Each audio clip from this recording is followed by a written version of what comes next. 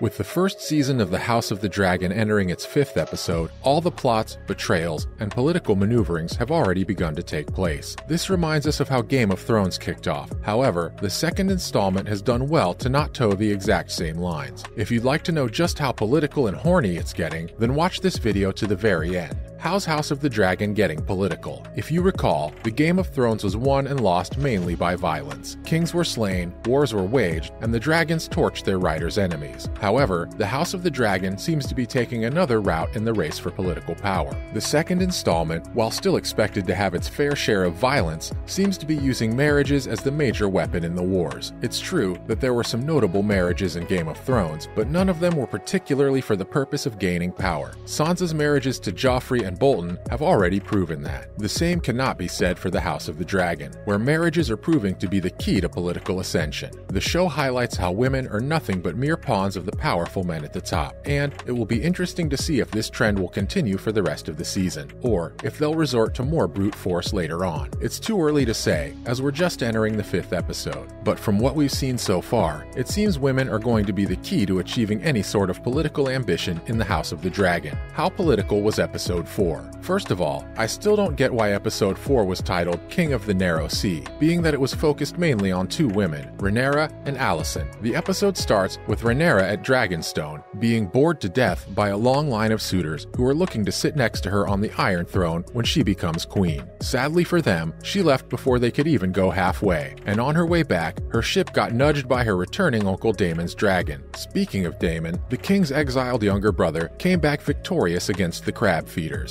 and he brought along their leader's wooden crown and hammer, being his spoils of war. After presenting them to his brother and king, who was the one responsible for exiling him in the first place, he bent the knee to show his loyalty. It was a card well played by Daemon, as he knew full well that the king was the forgiving type, and that his show of loyalty would put him back on his good side, even though he did not come back with good intentions. Now, with Daemon back on his brother's good side, and with Rhaenyra openly expressing her frustrations at the thought of being an heir producing factory, the stage for the political and sexual maneuvering was being set. Did Daemon discover Rhaenyra's vulnerability? In true royal fashion, King Viserys throws a party to celebrate his exiled brother's return and victory over the crab feeders. And it was there that Rhaenyra complained to Alicent, her friend and father's wife, that it was unfair that she's being forced to choose a suitor to squeeze out heirs. Unfortunately, that was the same situation Alicent had found herself in, as she didn't love the king, but was pushed by her father, the king's hand, to marry him so that he too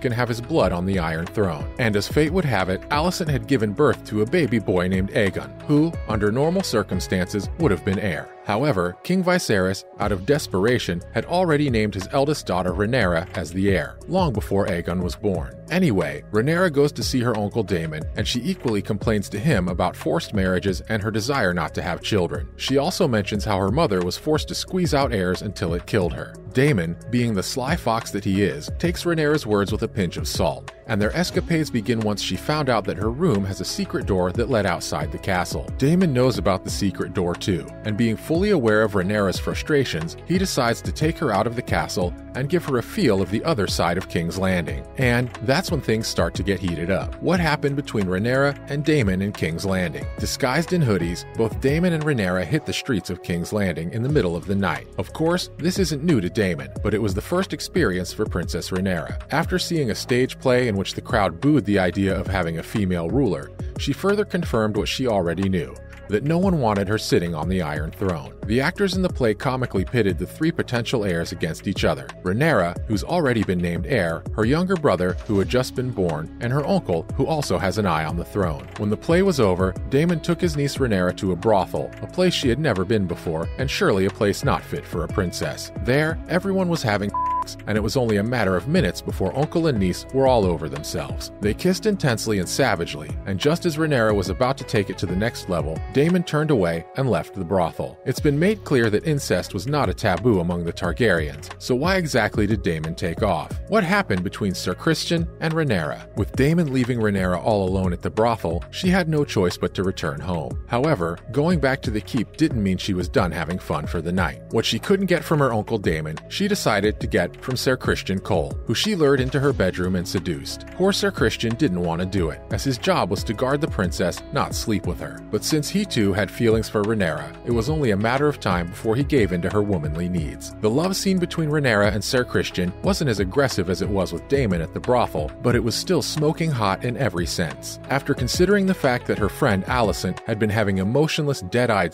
with her constantly drunk and old father, I'd say Rhaenyra hit the jackpot that night. Is Rhaenyra's secret exposed? While entering and leaving the brothel that night, the King's Hand, Otto Hightower, had sent a spy to keep an eye on Rhaenyra and Daemon. News of their escapades was delivered to Hightower, who had the unfortunate task of informing the king. I say unfortunate because it would be awkward telling the king that his daughter was caught having with her uncle in a brothel. And even though Rhaenyra and Daemon didn't actually have the news would surely be hard for the king to swallow. But I'm sure Hightower didn't care, as this situation plays out perfectly for him. The scandal might force the king to unname Rhaenyra as the heir to the throne, which will mean that Hightower's grandson, Aegon, will now be named heir. Alicent overheard Hightower breaking the news to the king, and she immediately went to confront Rhaenyra about it. Of course, Rhaenyra denied the allegations and assured Alicent she was still a virgin, although that too was not true, as she had slept with Sir Christian the night before. Will the truth ever be revealed? I guess we'll have to wait to see what the subsequent episodes hold. What happens to Daemon and Hightower? A hungover Daemon returned to a hostile welcome from the king's guards. They grabbed him by the hands and threw him at the feet of the king, who confronted him about sleeping with his daughter. Daemon, being the troublemaker that he is, claimed it was true, yet Viserys couldn't bring himself to kill him. In fact, Daemon proceeded to ask for Rhaenyra's hand in marriage, which the king blatantly refused. Instead, he banned Daemon from King's Landing for good, but we all know this isn't the last we'll see of him.